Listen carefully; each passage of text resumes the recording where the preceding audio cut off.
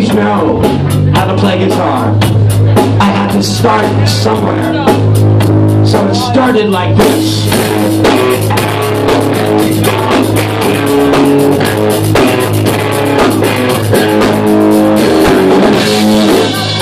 I was just about your age. And somebody gave me a guitar, but I couldn't play it. So he told me, how's your English? So somebody said I should learn a couple of chords. So he showed me this.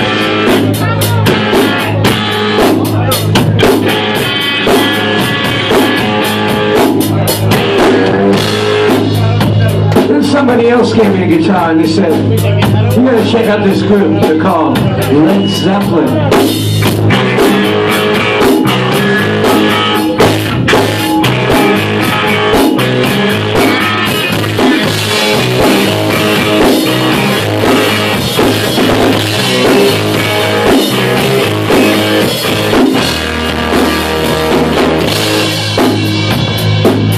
I started getting into guitar. I also started smoking pot. Anyway, the music on the radio was like 10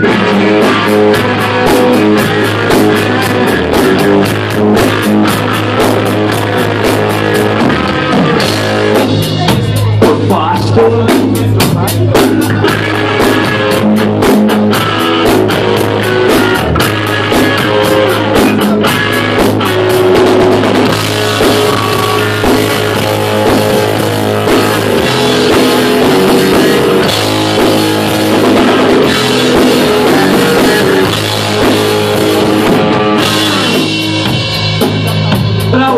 I was looking for something a little cooler.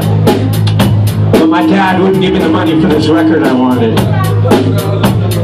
So I went to the record store, took a look around, took the record, stuck it underneath my jacket, and walked out the door. That record was called Kiss Alive.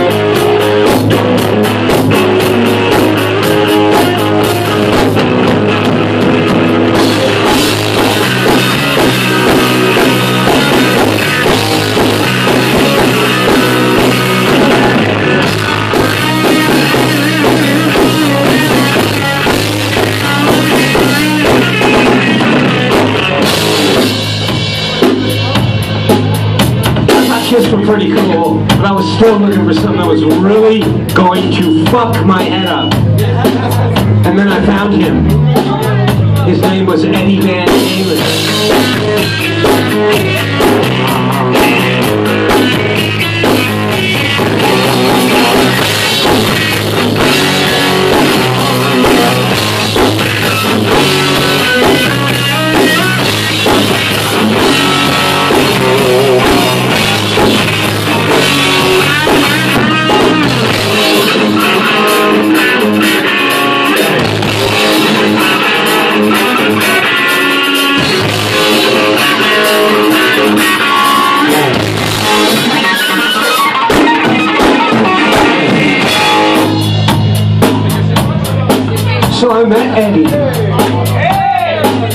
And he told me one thing. I was about 16 and 17, and he said, whatever you do, take the music somewhere else. Just don't copy me, because every motherfucker in Hollywood is cop- copying Eddie Van Halen. I'm quiet, right?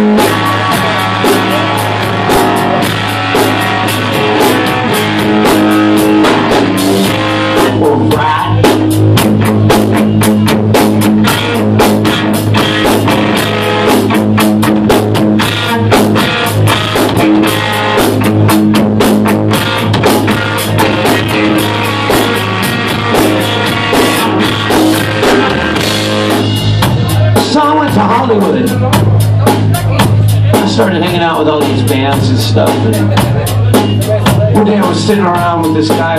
I was dating his sister. This guy that was in a band. He was a drummer. His name was Tommy. Tommy Lee. And he told me, if you can fucking, if you can talk, you can sing. So just get in the mic and say what you have to say. Kind of like this.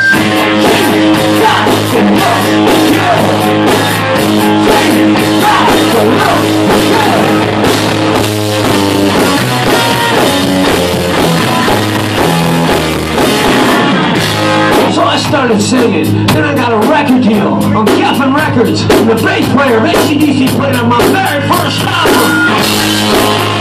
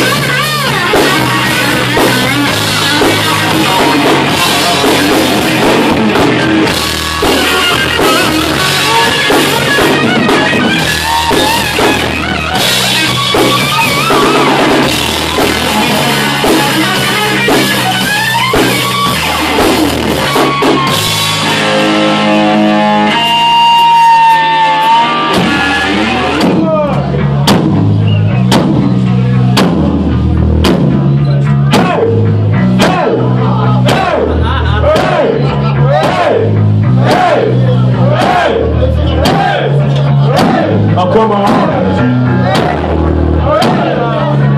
Oh, come on. Oh, come on.